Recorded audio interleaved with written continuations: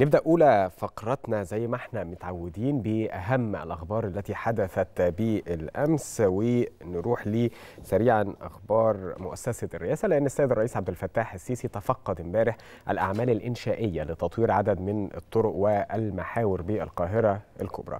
جولة السيد الرئيس في الحياة تضمنت تفقد سير العمل بتطوير كورنيش المقطم ومنطقة الهضبة الوسطى.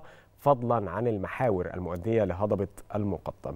ويمكن هذه المشروعات هتساعد على ربطها بمختلف أحياء القاهرة علشان تتيح سيولة انتقال المواطنين.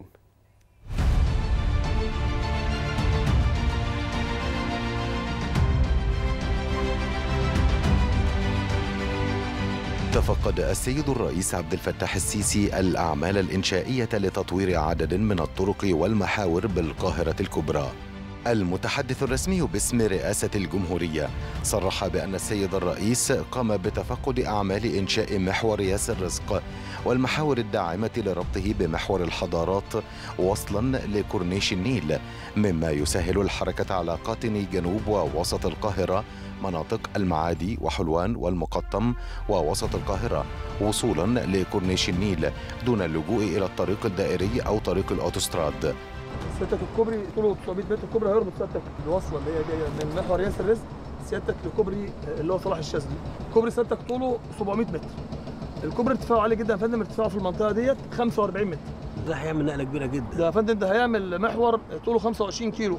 واصل من النيل عند نهر النيل مرة بمنطقة الحضارات لغاية يعدي منطقة المقطم بالكامل. رايح جاي طبعا. رايح جاي يا فندم خمسة حرر كل اتجاه. يوصل لغاية جمال محمد علي محور جمال محمد علي يا فندم. ده كله يا فندم بعد كده؟ أنتوا عاملين منسوب الميل معقول. الميل يا فندم منسوب معقول وهيخلص في وقت مش حاد قوي لا مش هيبقى حاد يا فندم. كده؟ هيبقى الميل معقول يا فندم. طبقا للكود يعني مش هيعدي الكود وهيبقى أقل منه كمان يا فندم. اللي هيخلص يا فندم إن شاء الله. كان المفروض يعني على التصميم بتاعنا الأولاني اللي هو الطبيعي هياخد سنة وثلاث شهور. إحنا بإذن الله ممكن إن شاء الله يا فندم نخلص شهر 7 الجاي 23 بإذن الله. إن شاء الله. سيادتك لو كنا هنشتغل بالنظام التقليدي يعني كان شهر سنه ونص فسيادتك إحنا درسنا كذا حل عشان نشتغل بيهم في وقت واحد. سيادتك الارتفاع اللي هو أكتر من 45 متر هنشتغل أعمدة بنظام الهولوكوب الأعمدة اللي هي المفرغة سيادتك ارتفاع العمود هيبقى 45 متر بس هو طبعا صعب جدا في تنفيذه لأن الشدة بتبقى 45 متر مع بعضها وبيبقى الحائط بتاعه متر بس فهو بيوفر كتير جدا في الخرسانة وبيسرع في الوقت شوية. الأعمدة اللي أقل من كده هننفذها بالنظام العادي. الكمر سيادتك اللي بيتعمل هعمله برده بأسلوبين إنشائيين. نظام ال pre-stress ونظام ال precast. وانتهاء المحور ده يا فندم هنكون ربطنا المنطقة بتاعت كورنيش النيل عبر كوبري الدكتور صلاح الشاذلي منها إلى محور ياسر رزق بالمنطقة شرق القاهرة ومنطقة جنوب القاهرة والمقطم يعني إحنا هنا واقفين دلوقتي. هنا يا فندم إحنا واقفين ده متحف الحضارات. ماشي. وده اللي إحنا عايزين نبينه. تمام. الفكرة هنا اللي هتتعمل الكوبري اللي إحنا بنتكلم على ارتفاعه 45 متر اللي هو منسوب الجبل ده لغاية الأرض تحت اللي هي المعدات اللي شغالة تحت. بالظبط عشان تربط مع عشان تربط فندم مع كوبري الدكتور صلاح الشاذلي اللي في اليمين ده فندم ومنه لكورنيش النيل. وهيبقى عندنا كوبري الهدف هو عمل نقل نقل الحركه المروريه بشكل غير غير مسبوق. بالظبط كده. بالظبط. الناس ممكن تطلع من من قدام القلعة. ممكن نطلع يا فندم من صلاح سالم يعني نطلع شرق القاهرة أو نيجي من منطقة كورنيش النيل هنا تمام؟ ونطلع برده يا إما المقطم ومنها لشرق القاهرة. وكده خففنا الضغط على الطريق الدائري وده بيعتبر استكمال للخطة اللي سيادتك أمرت ووجهت بتطوير عدد من الطرق والمحاور فيها. أول محور فيهم يا فندم هو محور بياسر رزق وده يا فندم بيربط بين محور صلاح سالم ومحور الاوتوستراد لربطه بمحور حسب الله كفراوي وسميرة موسى بطول 9 كيلو متر وعرض 5 حاره مروريه لكل اتجاه. كما يتم إنشاء محور سميرة موسى بطول 12 كيلو متر وعرض 5 حاره مروريه لكل اتجاه. وتم تحرير الحركة المرورية فيه يا فندم بإنشاء عدد أربعة كوبري بالإضافة لثلاث إنفاق. دي عبارة عن طريق بطول 2 كيلو متر اولهم يا فندم عبارة عن كوبري بطول 900 متر وعرض 27 متر بارتفاع يصل إلى 45 متر بيتم تنفيذه بأحدث الأساليب الهندسية. وده يا فندم لربطه على محور ياسر رزق بالإضافة إن هو تم تنفيذه بأحدث الأساليب الهندسية لتعديل المخطط الزمني. بالإضافة لطريق بطول كيلو كيلو 100 بيصل كميات الحفر والردم فيه يا فندم إلى 800000 متر اللي إحنا واقفين عليه. بيصل كميات الحفر والردم فيه إلى 800000 متر مكعب. بالإضافة لكده فندم بيتم تطوير طريق كورنيش المقطم بطول 7 كيلو وعرض 2 حاره مروريه لكل اتجاه في المنطقة من محور حسب الله كفراوي حتى شارع 9 بالإضافة لكده يا فندم سيادتك صدقته وشغالين دلوقتي فيه بتطوير شارع 9 من ميدان رسالة وحتى ربطه مع محور رئيس الرزق بعرض 6 حاره مروريه لكل اتجاه عدا المنطقة من ميدان الشرق وحتى ميدان مسجد الحمد دي بعرض 5 حاره مروريه لكل اتجاه. وهي مرتبه متشكرين. كما تفقد سيادته أعمال تطوير منطقة المقطم وكذا تطوير كورنيش المقطم والهضبة الوسطى لخدمة أهالي المقطم.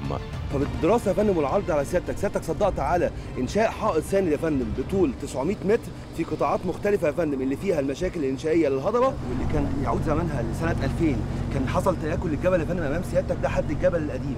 وتم معالجته في حينه يا فندم عن طريق الردم بأنواع مختلفة من التربة الغير متجانسة وبالتالي يا فندم بعيدا عن تنفيذ محور ياسر رزق وجدنا إن في صعوبة في الحفاظ على سلامة الهضبة الإنشائية يا فندم حتى مع إنشاء محور كورنيش المقطم وياسر رزق وتم يا فندم بالفعل ال- إجراء اعمال الجسات والتصميمات وبدأنا يا فندم التنفيذ عن طريق إنشاء حائط بارتفاع يصل من 6 ل 18 متر يا فندم. وبأساسات عميقة تصل إلى ثلاث صفوف من الأساسات العميقة وسمك الحائط يا فندم هيوصل إن شاء الله لمتر وتدعيمه كل 6 متر يا فندم بدعامات عمودية. لضمان يا فندم اولا أعمال الردم اللي هتتم بأسلوب إنشائي سليم إن شاء الله تحافظ على اولا سلامة محور كورنيش المقطم الجاري تنفيذه وفي نفس الوقت يا فندم عدم تأثيرها على محور ياسر رزق الجاري تنفيذه. أي أمطار هنا؟ أو هنا ما عندناش مشكلة. إن شاء الله يا فندم بإذن الله. ها؟ بإذن الله يا فندم. تم دراستها يا فندم تماما وإن شاء الله في بعض القطاعات هيبقى فيها تدبيش بدون مونة عشان يبقى في فلتر للمية. بعد كده عاملين له صيد حاجة زي ميول جانبية سيادتك تجمع مية الامطار دي أو بلاطات خرسانية لحماية الاجناب بإذن الله. وإن شاء الله يا فندم مخططين بإذن الله الطريق بالكامل إن شاء الله هيبقى خلصان 30 12 عدا يا فندم المن- المنطقة اللي هي فيها الحائط الساند دي دي طولها كيلو يا فندم. المنطقة دي إن شاء الله هياخد مدة تنفيذها بإذن الله أربع شهور. ولكن 30 12 هنبقى فاتحين إن شاء الله على الأقل ثلاثة حارة في الاتجاه ده يا فندم إن شاء الله. يعني الطريق هيبقى شغال بإذن يعني الله. هنخلص إمتى؟ إن شاء الله يا فندم 30 12 الطريق بالكامل. المنطقة دي يا فندم هيبقى مفتوح برضو فيها الطريق هيبقى فيها حارتين بس سيادتك هيتأخروا إن شاء الله ل 30 يناير أو خم- 15 فبراير شهر. كمان أو يعني. بإذن الله يا فندم بإذن الله يا فندم. شكرا كما تفقد سيادته أيضا. أعمال إنشاء طرق جديدة تربط بين محور حسب الله الكفراوي والطريق الدائري ومحور الشهيد لتخفيف الأعباء عن الطريق الدائري. استكمالا لأعمال تطوير وإنشاء طرق ومحاور جنوب القاهرة وربطها على محاور شمال وشرق القاهرة وصولا للقاهرة الجديدة والعاصمة الإدارية الجديدة. سيادتك صدقت يا فندم بإنشاء وتطوير شبكة طرق. منطقة زهراء المعادي والطرق المحيطة بمحور حسب الله الكفراوي بإجمالي أطوال 35 كيلو متر خمسة حارة مرورية لكل اتجاه بإجمالي 10 حارة مرورية تصل إلى 16 حركة مرورية في المناطق السكنية والخدمية لضمان استمرارية المرور وخدمة المواطنين. المنطقة اللي سيادتك مشرفنا فيها يا فندم تم تنفيذ طرق بإجمالي أطوال 9 كيلو متر. الطرق دي يا فندم تم حفر أكثر من 600 ألف متر مكعب في تربة صخرية وباستخدام المعدات الميكانيكية وتم ردم أكثر من 100 ألف متر مكعب بأكثر باستخدام المعايير الجودة. سيادتك يا فندم كده قدرنا نربط القادم من طريق الاوتوستراد وطريق الصعيد الحر وحلوان بطريق العين السخنة مرورا بمحور محمد عزت عادل وتم ربط القادم من محور الشهيد بمحور محمد عزت عادل ومنه إلى كورنيش النيل ومناطق جنوب القاهرة. وتم ربط القادم من المقطم ومحور ياسر رزق والقادم من المنيب بطريق العين السخنة. وبكده يا فندم تم إنشاء مجموعة من الطرق موازية للطريق الدائري لتوفير لتخفيف العبء المروري على الطريق الدائري خاصة يا فندم إنه بيتم مشروع الأتوبيس الترددي. وبكده يا فندم نقدر نوفر الاستهلاك المحروقات وتوفير في زمن الرحلة. وتم فندم التنسيق مع الجهات المعنية لإنشاء وتطوير البنية التحتية وبالفعل يا فندم تم تطوير وإنشاء البنية التحتية من مياه وغاز وصرف وكهرباء قبل ما تعملوا قبل ما تقفلوا. قبل ما نقفل الطرق يا فندم. لخدمة المواطنين وتحقيق أقصى استفادة من أعمال الإنشاء والتطوير. وزي ما سيادتك أمرت يا فندم تم قطع طريق العين السخنة وتم عمل التحويلات المرورية اللازمة لضمان سيولة الحركة المرورية. شغالين في النفق. شغالين في النفق فندم جاري الأعمال الإنشائية في النفق. هيخلص إمتى؟ إن شاء الله زي ما وعدنا سيادتك يا فندم في إن شاء الله شهر فندم. طب أنا بس بود هنا أوضح حاجة مهمة قوي اتفضل. إحنا بنقول إيه؟ بنقول إحنا بنعمل محاور موازية للطريق الدائري مش؟ تمام يا فندم. وبنعمل في نفس الوقت في كل كتلة سكانية موجودة شبكة طرق تخدم على سكانها. تمام. بحيث النهارده بدل ما أنا لو أنا موجود يعني ال- ساكن في في منطقة آه، مع- آه، زهراء محمد آه، عزت عادل أو زهراء المعادي. وأبقى محتاج أروح لغاية الدايرة عشان أتحرك عليه. لا ده أنا عندي طريق موازي أهو. محور. محور أتحرك عليه بسهولة جدا جدا. أنا عندي ملحوظه شفتها الدوائر المرور بتاعتكم ديت. تمام يا فندم. الحقيقة. مش شايفكم مبالغين فيها قوي في اتساعها. أنا أقصد أقول كانت ملحوظة بالنسبة لي إن اللي متحركين بينحرفوا شديدا جدا في عشان يتحركوا داخل الدوائر دي تمام إحنا بنضمن يا فندم إن اللي قادم يقدر ياخد سرعته لدخول ال- ال- الدوران طيب طيب. إيه تاني عندك؟ القطاعات الإنشائية بعد التطوير يا فندم طيب. خمسة حارة مرورية والمناطق اللي قلت سيادتك 16 حارة مرورية خمسة وثلاثه حارة خدمة لخدمة المواطنين وضمان استمرارية الحركه المروريه على الطريق الرئيسي في حاجة برضو في المنطقة هنا أو في في ال- في التصميم اللي أنتوا شغالين بيه حسيت إن إحنا ممكن نضيف حاجة. لو أنتوا لقيتوا حاجة كمصممين طرق ومنفذين للطرق دي في المنطقة اللي أنتوا فيها غير اللي إحنا عاملينه اطرحوه عليا. تمام يا فندم. تتم الدراسة وعرض على سيادتك مش كده يا محمود؟ أولا شكرا. يعني زي ما تابعنا مجهود كبير بيحصل في آه، طرق وشوارع القاهرة بهدف آه، تخفيف آه، التكدسات المرورية وتخفيف العبء من على كاهل المواطنين أثناء عملية القيادة تحديدا. طيب لسه مستمرين في عرض آه، أخبارنا التي حدثت بالأمس لأن آه، كان امبارح في جولة لرئيس الوزراء في مدينة شرم الشيخ ده لليوم الثاني على التوالي لمتابعة آخر الاستعدادات النهائية لاستقبال المدينة لمؤتمر آه، التغيرات المناخية كوب 27 كمان الحكومة استعرضت نشاطها الأسبوعي في إنفوجراف وكان في نفي من الحكومة لمنع الطلاب من دخول الحرم الجامعي لعدم سداد المصروفات الدراسية. بالإضافة لأخبار آه، أخرى هنتابعها من خلال هذا التقرير.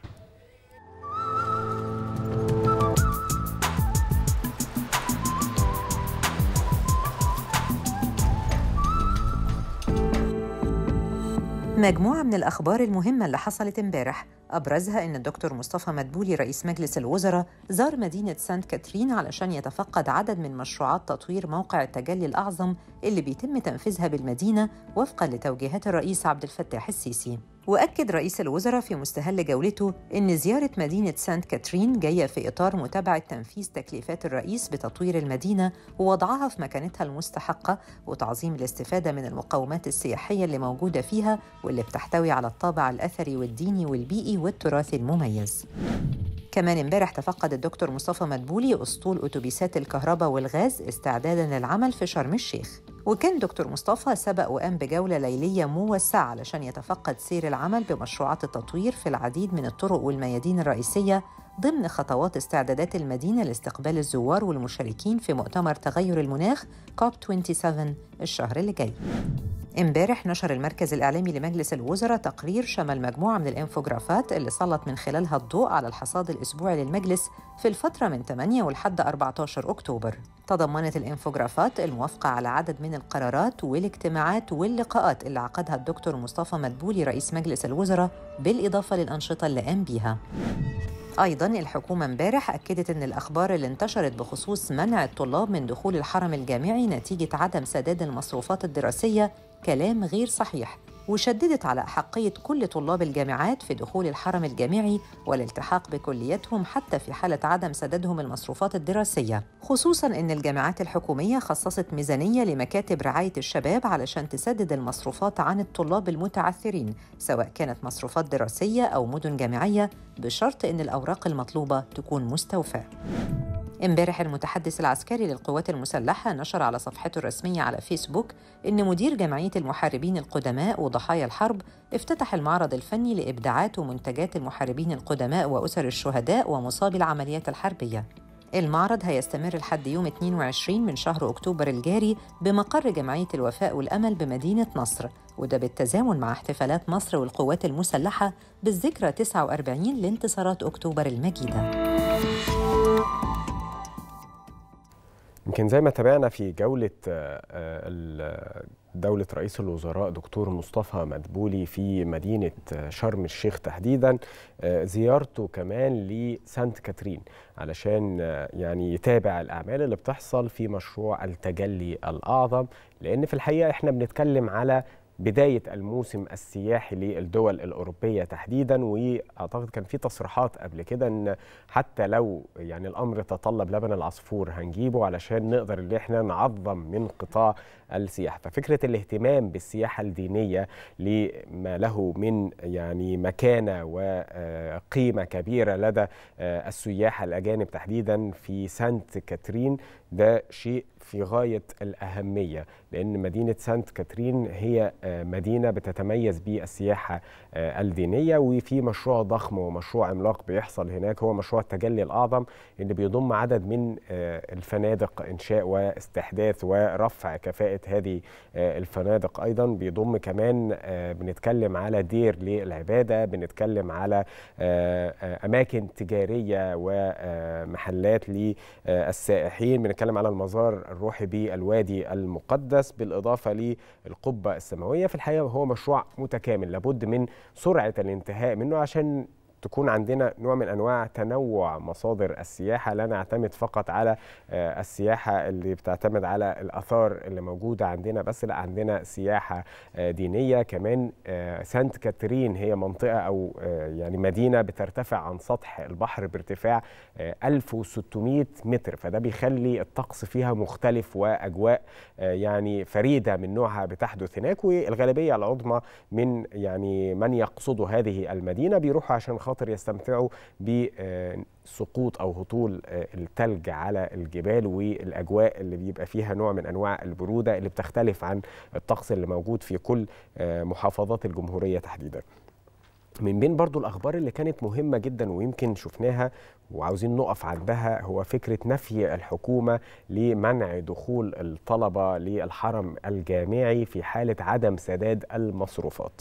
لأن في حياة الأمر ما فيش حد يقدر يمنع طالب في التعليم الحكومي لأن إحنا بنتكلم هنا على الجامعات الحكومية تحديدا من عدم حقه أو عدم أحقيته في دخول الحرم الجامعي لأن حق التعليم هو حق مكفول بموجب الدستور. فبالتالي أقصى حاجة ممكن تحصل هو فكرة حجب النتيجة. ده في حالة عدم دفع المصروفات لغير القادرين ليهم بقى يعني استثناءات والاستثناءات يمكن إحنا رصدنا في التقرير ان غير القادرين في لجنة مشكلة ده بخلاف لجان وزارة التضامن الاجتماعي وبيبقى في أوراق مطلوبة بيثبت فيها بيان الحالة الأسرية تحديدا وبالتالي بيتم اعفائه تماما. ده غير إن هي أصلا التعليم الحكومي هو تعليم مدعم أو تعليم مدعم أعتقد يعني مصاريفه لا تتجاوز بنتكلم على يعني على أيام أنا لو أنا هتكلم على تعليم مثلا حقوق كان انتساب فيها كان ب 500 جنيه تقريبا يعني السنة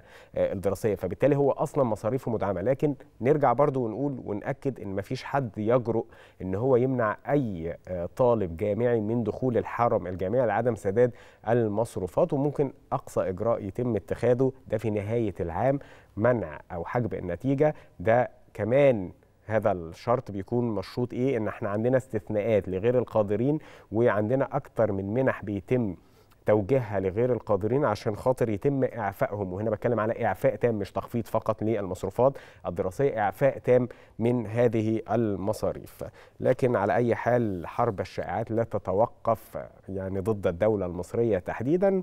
وأنا ببص إن ده يعني في حد ذاته نجاح لأن لو مفيش نجاح مفيش حد هيبتدي اللي هو يركز معانا ويبتدي اللي هو يحاربك بحروب الجيل الرابع يعني التي يعني تعد من أخطر أنواع الحروب لأن ملهاش ساحات قتالية وهو حرب المعلومات. بنشكر طبعا مجلس الوزراء اللي بيرصد هذه المعلومات ودايما بينفي يعني ويطلع البرهان ويطلع حقيقة أو بواطن الأمور. خلونا نروح لمحافظات مصر اللي شهدت مجموعة من الأخبار والأحداث اللي حصلت بالأمس يمكن أبرز هذه الأحداث بدء تحريك أتوبيسات الغاز الطبيعي والكهرباء لمدينة شرم الشيخ لنقل وفود قمة المناخ والانتهاء اللي من إنشاء خمس بيوت انوال جديدة للنسيج اليدوي في حي الكوثر بسوهاج. من بين الأخبار أيضا اللي حدثت في محافظات الجمهورية المختلفة وصول 58 سرير جديد لدعم مستشفى الفرافرة المركزي وأخبار تانية هنتابعها من خلال هذا التقرير في محافظات الجمهورية المختلفة.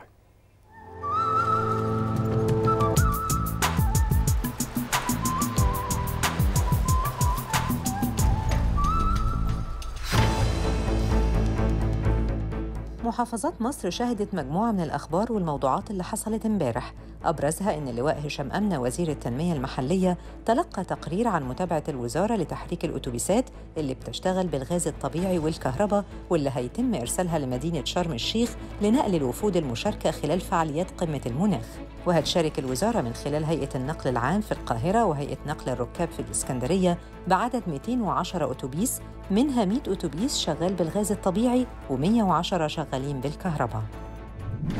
اللواء طارق الفقي محافظ سوهاج أعلن عن الانتهاء من إنشاء خمس بيوت أنوال جديدة للنسيج اليدوي بقرية النسيج الجديدة في حي الكوثر بتكلفة إجمالية وصلت ل 3 مليون و150 ألف جنيه.